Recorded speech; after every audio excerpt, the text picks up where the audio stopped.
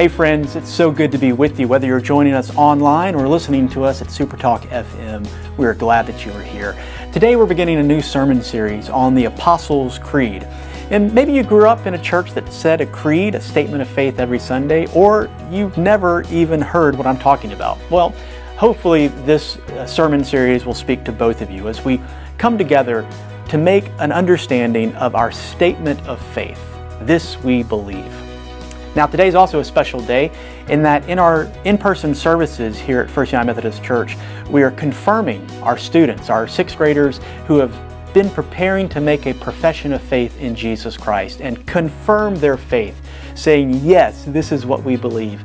And so, if you're watching us online or listening to us, you can also visit our Facebook page or our church website and watch those services, uh, both at 9 and 11 from the, this Sunday, to see these young people make their profession of faith.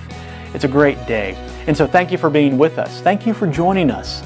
And I hope you do understand you're welcome no matter where you are and no matter where you've been on this journey, because we believe that together we can know more and grow more in God and Jesus. Thanks for being with us.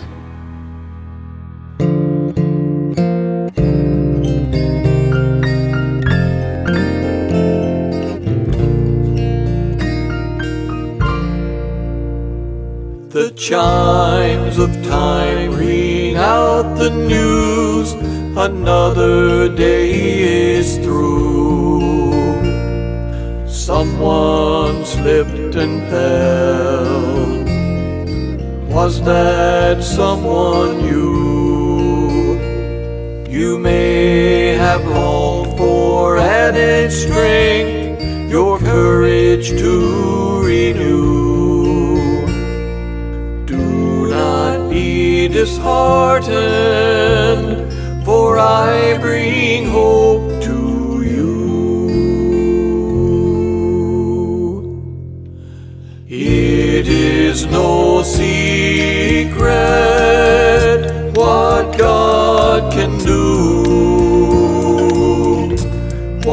done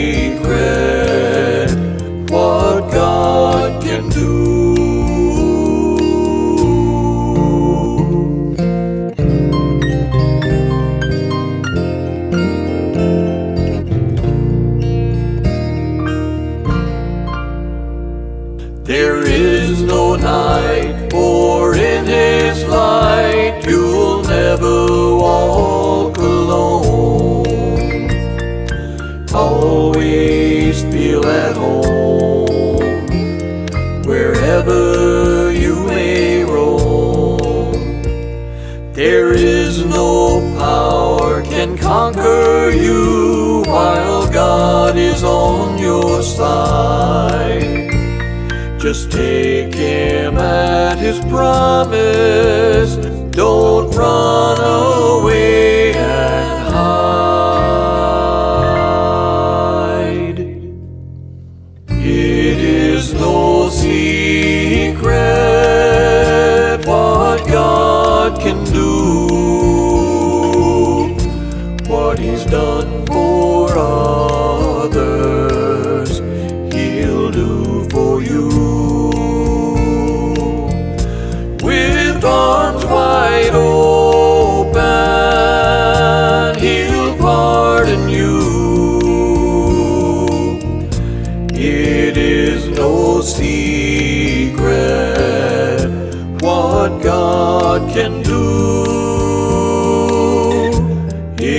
Is no secret what God can do.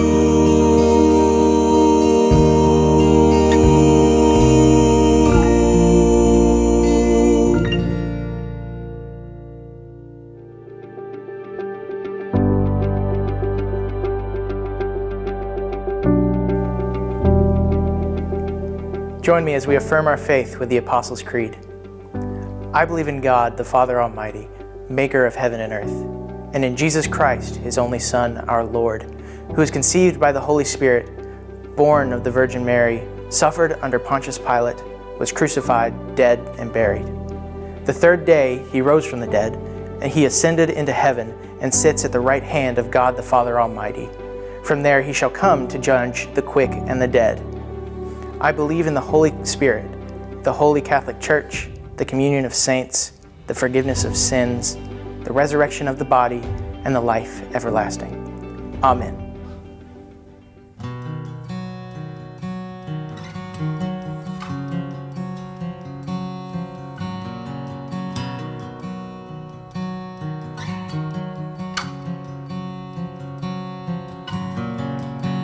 Our Father everlasting, the all creating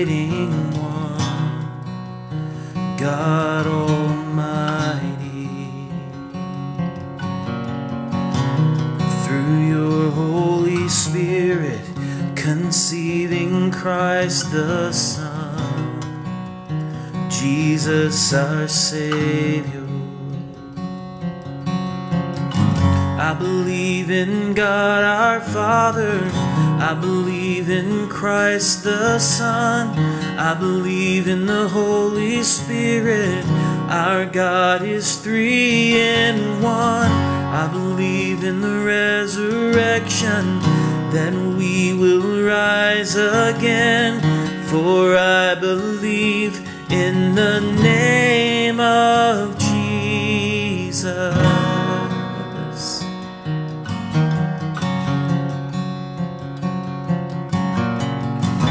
Our judge and our defender suffered and crucified. Forgiveness is in you. Descended into darkness, you rose in glorious life, forever seated high. I believe in God our Father. I believe in Christ the Son. I believe in the Holy Spirit. Our God is three in one. I believe in the resurrection that we will rise again. For I believe in the name of Jesus.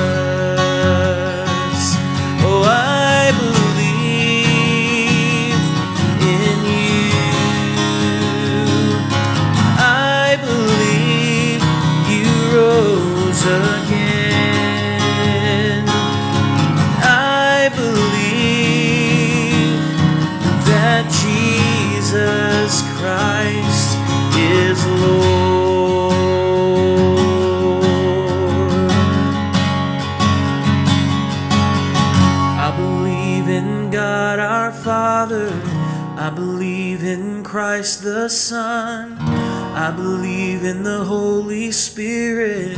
Our God is three in one. I believe in the resurrection that we will rise again. For I believe in the name of Jesus. I believe in the life eternal. I believe in the virgin birth. I believe in the saints' communion and in your holy church.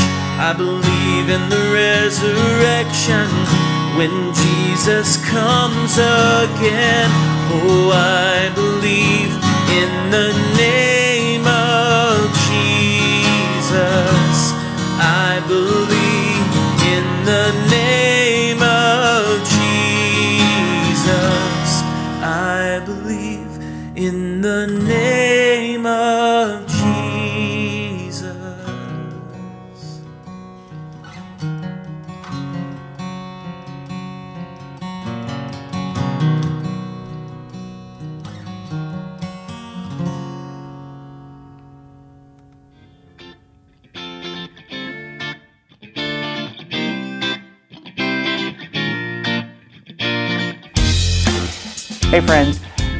time I think of the offering, I like to think of individual people that are impacted by what you give. Today's an easy day for me because in our in person services, we are confirming, uh, I think, 12 young adults who are saying yes to following Jesus. And because of your generosity, we have a place here where they can grow to learn more about Jesus. Not just as children, but now as they're beginning that journey into the youth group and into young adulthood, your gifts provide places and people for them to know more about Jesus. So don't ever forget when you give the impact in other people's lives and faith that you're making. So please feel free to give generously. You can do that online right now at firstmethodistclinton.org slash giving. You can mail your check to 100 Mount Salus or drop it off at the church the next time you're in the neighborhood. Thank you for your giving. And remember, it truly does make an eternal difference. Good morning, everyone. I'm glad you're joining us today. I'm Miss Nikki, and we're going to have a few moments for the kids. Did you know that today is Confirmation Sunday? Our sixth graders have been learning so much more about their faith and the church. So let's talk a little bit about that. Confirmation actually has several different meanings. We usually think of it in terms of science, like when you do an experiment to be sure of something. You might have tested a hypothesis, which is an idea about the way something works. You confirm a theory. But how do we confirm the love of God? How can we confirm a belief? Jesus said God was his heavenly Father, our heavenly Father, and that God loves us no matter what, no matter how much we mess up. How can we ever confirm that? What we have are not tests of faith, like in science, but we have the Bible, which contains stories or testimonies of faith. Testimonies are stories told by people about what happened to them and what they saw and heard and felt and believed. Matthew wrote the first book of the New Testament, which is a book of testimonies about Jesus and the early church. Matthew's gospel tells the good news of Jesus. In Matthew chapter 7, verses 24 through 27, Jesus talks about doing what he told us to do because it would be the best foundation to build our lives upon. He said, Everyone who then hears these words of mine and acts on them will be like a wise man who built his house on rock. The rain fell, the floods came, the winds blew and beat on that house, but it did not fall because it had been founded on rock. And everyone who hears these words of mine and does not act on them will be like a foolish man who built his house on sand. The rain fell, the floods came, the winds blew, and they beat on that house, and as it fell, there was a great fall. I was thinking that maybe we could test this hypothesis of Jesus here today. But we would need rock and sand and things we need to build a house to be able to do that. And then we need some rain and floodwaters. But I thought maybe if Jesus had some frozen waffles to use an example to test this hypothesis, he might have used them instead of sand something you would not want to use as foundation of your house. Kind of looks like a block, doesn't it? It's pretty solid. It's frozen. What do you think? Would waffles make a good house? I bet they're not as strong as rock, and they don't stay frozen, right?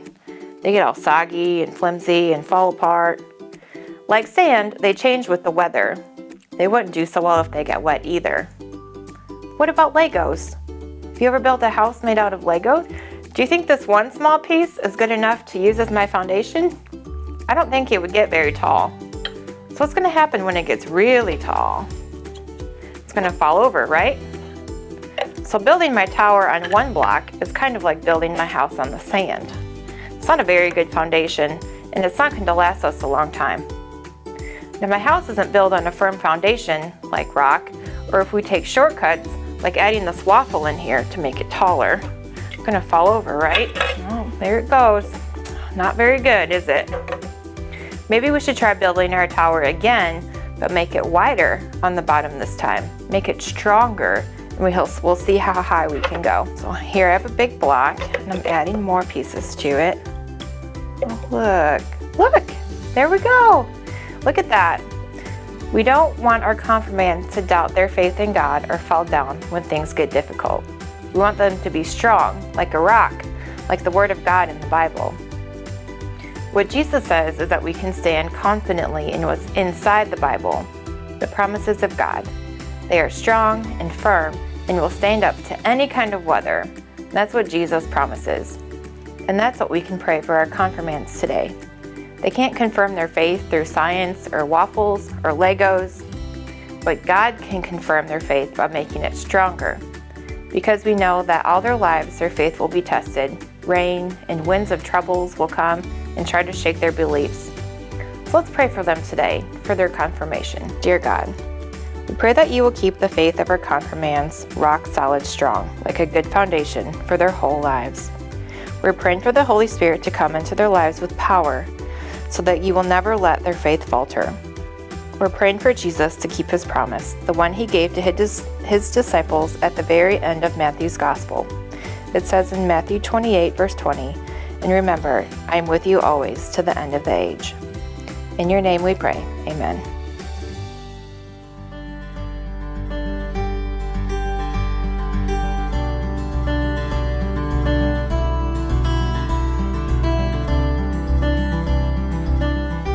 Won't you join me in saying the Lord's Prayer? Our Father, who art in heaven, hallowed be thy name. Thy kingdom come, thy will be done, on earth as it is in heaven. Give us this day our daily bread, and forgive us our trespasses, as we forgive those who trespass against us. Lead us not into temptation, but deliver us from evil. For thine is the kingdom, and the power, and the glory forever. Amen.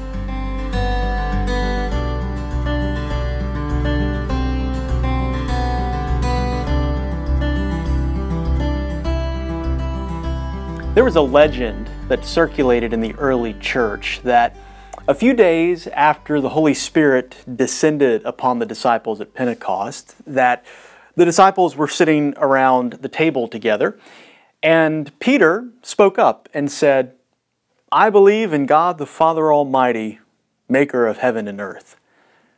And then Andrew, sitting next to him, said, And in Jesus Christ, his only Son, our Lord. And then each of the now 12 disciples added one line to what became known as the Apostles' Creed. That's a lovely and completely untrue story. it didn't happen that way. What we call the Apostles' Creed, this statement of faith that uh, we Methodists and other similar type Christians recite during our worship services, is a statement of faith that is called the Apostles' Creed not because it was written by the apostles, but because we believe it reflects the apostolic faith, the faith that has held the church together since the days of the apostles. It's a statement of belief, a statement of our core fundamental understanding of who God is and what we believe in response to what God has revealed. And so we are studying together over the next several weeks the Apostles' Creed, line by line, to help us understand what it is we believe when we say these words together. And hopefully to help us understand how each of these individual statements of faith really do help to shape who we are as the people of God. Now, I want to give you just a little bit of an orientation around understanding the Apostles' Creed, and then we're going to dive in together on the first line. Now, the Apostles' Creed is carefully structured around the Trinity. In fact, there are three big sections a section on the Father, a section on the Son, and a section on the Holy Spirit. In fact, this creed was first written as a baptismal question and answer format. Uh, candidates for baptism that were about to join the church, they would be asked, Do you believe in God the Father? And they would respond, I believe in God the Father Almighty, maker of heaven and earth. They'd be asked, Do you believe in Jesus Christ? And they would say, I believe in Jesus Christ, his only Son, our Lord. Then they would be asked, Do you believe in the Holy Spirit? And they would say, Yes, I believe in the Holy Spirit. And so each section of the Apostles' Creed is really divided into these Trinitarian sections. And then each of those three sections has a few clarifying statements, a few additional supporting sentences. And taken together, They reflect the core of what we as Christians believe. Now, some of you might think if you grew up in a tradition that didn't have a creed, you might be a little suspect about a creed. But let me let you in a little secret. Everybody has a creed. Everybody does. A creed is simply a statement of belief. What do you believe? What is the thing that guides your life? Uh, a creed is simply a statement of, of fundamental ideas, guiding principles. In fact, the word creed in our English is simply the Latin credo for I believe. And so you may have a creed and you're not even aware of it, but I think everybody has it. Um, some people's creeds are I believe that whoever has the most stuff wins. Uh, some people might have the creed that uh, only the strong will survive. Your creed might believe that, uh, might simply be that uh, I'm the smartest person in the world and I'm never wrong. Everyone has a creed. Everyone lives by a statement of principle. Some of us have just identified what it is and written it down. And then some of us are trying our best to lead and live by another set of principles. We're trying to live into a statement of faith. And sometimes we have better days than others. In our tradition, when we gather to say the creed, what we are saying is this is the way that we want to live. This is the fundamental reality in which we place our beliefs, our faith. And what's also interesting is, in the church at least, when we say something like a creed, we are joining our voices together. Even when we say it alone, we use the words most often, we believe. The idea is that we are part of something larger than ourselves. We're part of a belief system that goes back thousands of years, and we believe that will continue on after our deaths. We didn't come up with this on our own. We didn't write our own statement of belief, but rather we said, This is something that I want to put my faith in. This God, this Lord, this Holy Spirit that's where I see my true faith. And we remind ourselves of that commitment every time we say the Apostles' Creed. And so today we begin this journey walking through this creed. And so you may have grown up saying the creed, or this may be the first time you've ever heard this and you're still a little bit suspicious. Either way, I'm glad you're here as we journey together through this. And so we begin by making a statement of faith that we believe in God the Father Almighty, maker of heaven and earth. And I want to read a bit of scripture. It's a creation story, but it comes probably not from the most familiar setting of Genesis, but it is a creation story nonetheless. And it comes from the first chapter of the Gospel of John. I'd like you to hear this word. In the beginning was the Word, and the Word was with God, and the Word was God. He was in the beginning with God. All things came into being through him, and without him, not one thing came into being. What has come into being in him was life, and the life was the light of all people. The light shines in the darkness, and the darkness did not overcome it. When we begin our creed, when we begin this statement of faith, we say that we believe in a God who is Father Almighty and who is the maker of heaven and earth. So that's a two part statement about who we believe God is. We believe God is an Almighty Father, and we believe that God has created all that there is. All things that exist are the result of this God that first statement about being an Almighty Father, that's a statement about who God is. That second part, that God is maker of heaven and earth, is about what we believe God has done. Another way to think about it is one is about his identity, one is about God's activity. And we say them together at the very beginning of our creed because we're making the assertion that the way that we humans know about God is because of what God has done in this creation. The only way that we really know about God is what God has chosen to reveal to us. We can't make up God on our own, or at least we don't make up a very good God when we do that. But we have come to know this God through the way this God has acted in this world. And that's where we begin our statement that we believe in a God who is an almighty Father, maker of heaven and earth. Now, I know for some people it can be complicated to call God Father. Uh, for some people, they grew up with not really good examples of fatherhood. Maybe their fathers weren't in their life, or if they were, they were real distant. They have complicated, difficult, sometimes even adversarial relationships with a father. And so to think of God as Father can be difficult for some. Uh, for others, the idea of God being um, a, a, person that we would even think of as a father seems to be beyond uh, our rational thought. Maybe God is a spirit, a, a cloud, a force. That's maybe too much like Star Wars. and the idea of there being a personal God that we might call Father seems mm, odd to us. Some people grew up with calling God Father and it's completely normal. And you don't understand why it's a big deal for others. And so I want to answer for everyone, no matter where we are in that spectrum of understanding.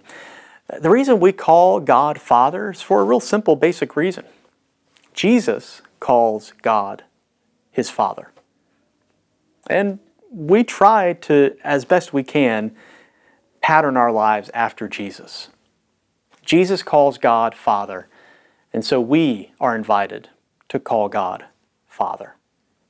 But what's also interesting is Jesus doesn't just use the formal Father. All throughout Scripture, Jesus uses a particular name. He calls God Abba. And Abba is an Aramaic word that really does have a personal meaning. Uh, in some ways, it's like calling God Daddy. Using Abba is a, a real personal, familial way. It's a term of affection, a term of, of intimate connection, not just some distant father. But Jesus calls God Dad, and then invites us to do that as well. And we call God Father because we really do believe that the center of this universe is a God who desires a relationship with each of us. A familial, fatherly relationship. It's not a God who stands distant and aloof and apart from us, but one who walks with us closely and intimately. This God desires a relationship and desires his children to call him Father. Now, just in case we forget, it's Father Almighty, right? We still believe that God is big and powerful and, and rules over all. We believe that this God could do anything, could make anything, could destroy anything, and yet this God has desired and chosen to exercise this almighty power through a relationship of love and compassion. This is a God who is so almighty that he bends down and whispers into our ear, Please, call me Abba. So we believe in God the Father Almighty. But we also believe that this Almighty God is the maker of heaven and earth. We believe this God has done something tremendously beautiful in our midst, and that is to create this marvelous and, and vast universe that we get to see just a little part of here on this corner of God's kingdom that we call earth. But as we look out at the stars, we believe that we see the infinite expanse of God's universe.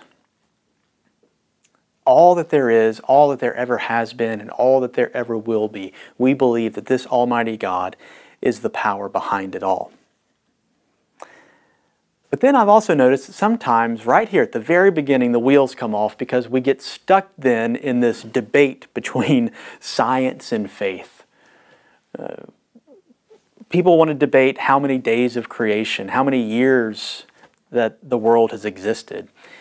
We get into debates about dinosaurs and evolution and all that stuff, which is very important, really good, important conversations. However, uh, I've always come to look at it slightly differently than other people. And, and you don't have to agree with me. I, I'm completely okay with that. But here's what I think. It's true that science and faith has had a complicated relationship, and uh, there have been some parts of our history as a church where we've pushed science away, and some parts of our church in which we've actually funded science and, and encouraged people to explore their vocation to serve God in the sciences.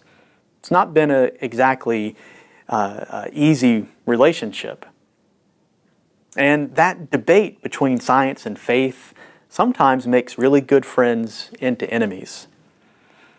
And I completely understand the depth of emotion that some people have toward a particular view of creation or a particular view of evolution. And I understand that it's a real passionate argument for some people. But if I'm completely honest, for me, I have to say it's just not that big of a deal. And I blame Mrs. Polk.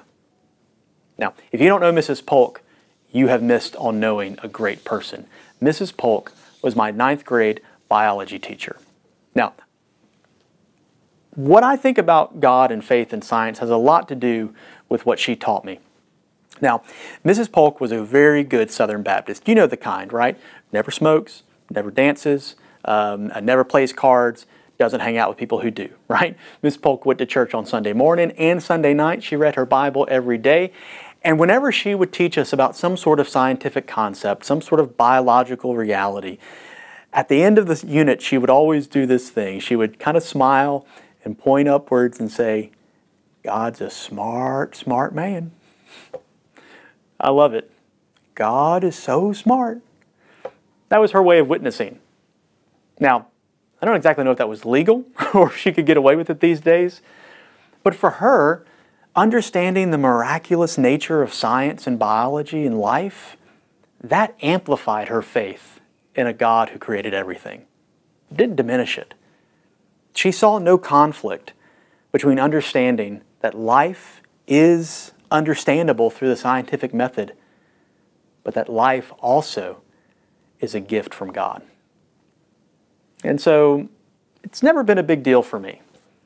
Now, I love Star Trek and dinosaurs and can't imagine a world without them.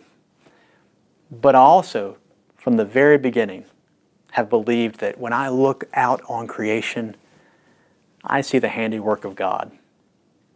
And whether God did it in six days, six years, or 600,000 doesn't change the fact that I believe in the Almighty Father who made heaven and earth. But if that doesn't do it for you, I'm more than willing to get a cup of coffee with you anytime and talk about it more.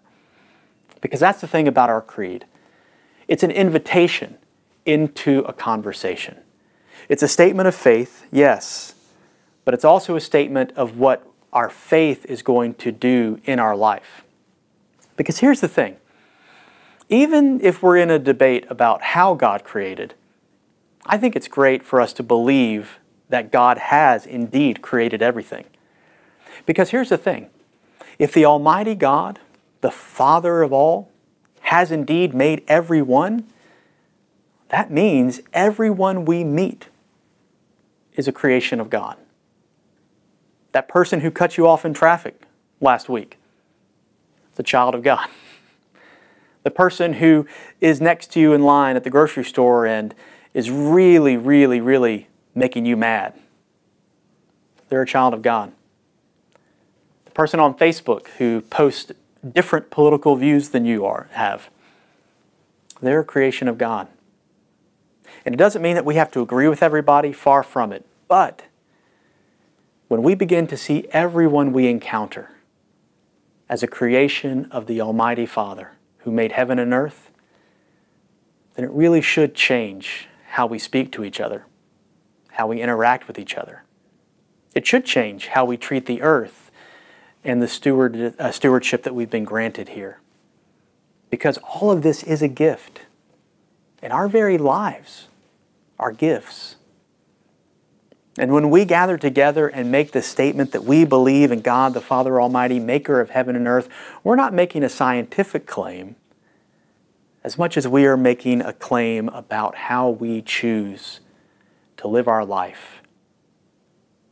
We choose to live life in a world that is not random, a world that is not an accident, but a world that was created by a loving Father. And we are called to live our lives as a response to that. We're simply choosing to live with the humility that we are a small part of a much larger creation, a beautiful universe. And we're making the claim, as difficult as it is for us to admit, that we are not the center of the universe. The Father is. Our creed begins with a confession that God made everything. God made wheat to grow in fields and grapes to grow on vines, that one day we might gather them in to set on a table and feast on bread and on a cup. God made donkeys and people so that one day a young woman and her husband to be could travel from Nazareth to Bethlehem. God made a womb and human DNA that one day that same God would be born to us as one of us. God made all that there is because he's a loving father. And I don't know exactly how it happened or how long it took or how long it will last. But I choose to live with this simple faith that I believe in God the Father Almighty, maker of heaven and of earth. Amen.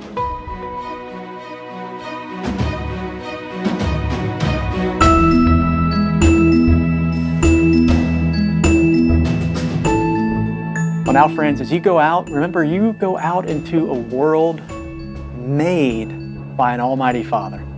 And so I hope you do walk in creation remembering the blessings of God. May you go forth and may the peace and love of Christ go with you.